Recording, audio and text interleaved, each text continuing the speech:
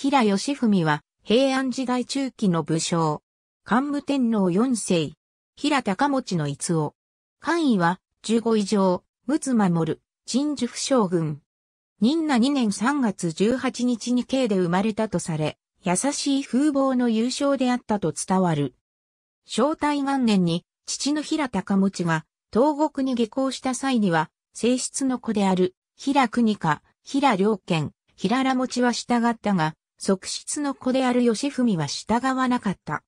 延長元年、36歳の義文は、第五天皇から、相模国の族を討伐せよとの直令を受けて東国に下校し、盗賊を滅ぼしたと伝わる。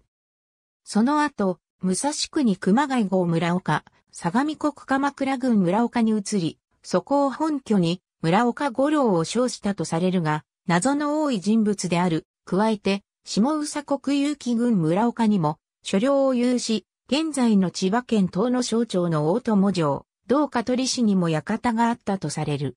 天行2年4月17日、陸奥守であった義文は、陳樹府将軍に任じられて、乱を鎮圧し、陳樹府である、伊沢城にとどまった。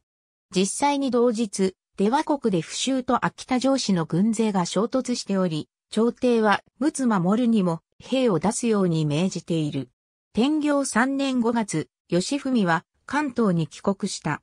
村岡城石晩年は下宇佐国海上軍、さらに阿玉軍に移り、天略6年12月18日に67歳で没したと言われる。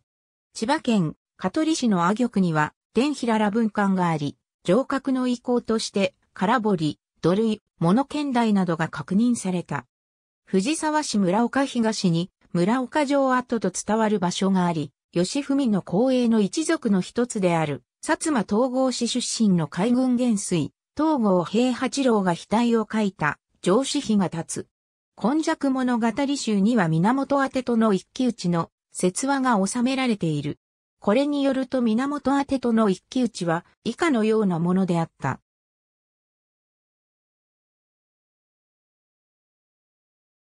今は昔、東国に源宛て、平良文という二人の武士がおり、二人の領地は荒川を隔てて近いところにあって、たびたび家来たちが小競り合いをしていた。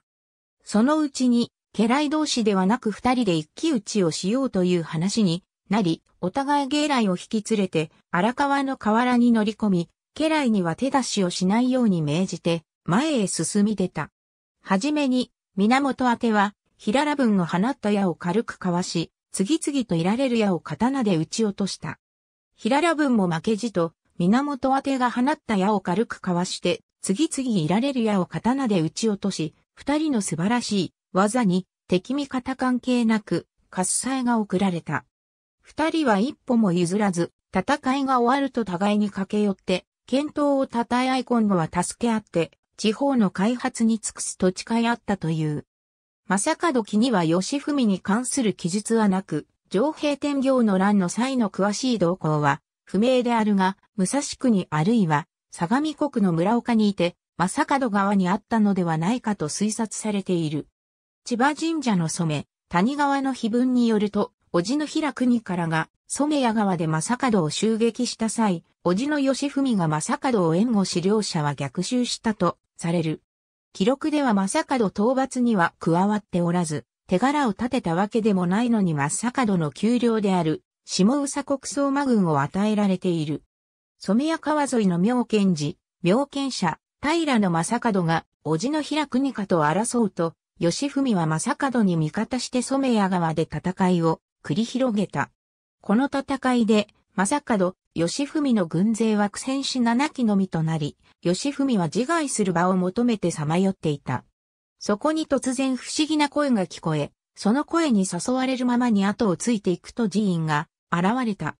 その寺院の自相によるとここは、妙見寺という北斗七世の化身、妙見菩薩を祀る寺院であり、義文が妙見菩薩に選ばれたものであるといい、七政権を渡された。また、自相の言葉の通り、その証拠として、吉文の体には月と星の印が浮き出ていた。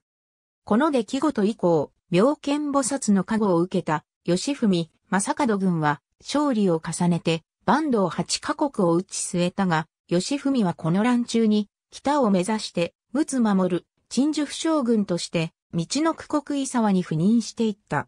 一方、正門は凶悪の心を構え神慮にはばからず、帝井にも恐れなかったため、妙見菩薩は正門を離れ、吉文のもとに渡ったとされる。また、高大千葉市の一族によって編纂された源平登場録には、吉文が老いである正門の養子となっていたので、正門の窮地を救った妙見菩薩が吉文から、忠頼を経て、千葉市に伝わり、結城浜の戦いでは、千葉生徒根を助け源頼朝を守ったとする記述がある。晩年、吉文は、夕顔の花を愛し、死に際して、この忠頼に、自分に会いたくなったら、畑に植えた夕顔の実を開けようと遺言した。忠頼が畑の夕顔を割ったところ、中から観音像が出てきた。